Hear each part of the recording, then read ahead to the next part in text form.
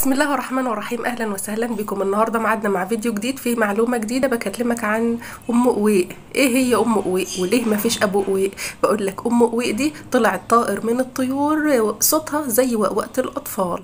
أم قويق طلع طائر من الطيور طائر البومة البومة الصغيرة دي بنسميها أم قويق ليه؟ بنقول صوتها شبه وقوقه الطفل. قويق بتعيش في الأماكن المفتوحة ممكن تكون أماكن صحراوية أو غير صحراوية ممكن كمان في الأماكن الزراعية.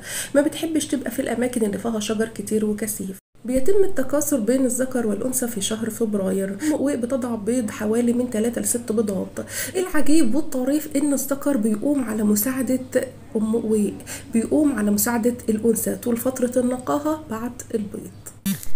بتتغذى أم قويق على الحشرات على الخنافس على الجراد وكمان بعض القوارض. بيض أم قويق بيتحول إلى أفراخ وتقدر تطير بعد 30 35 يوم.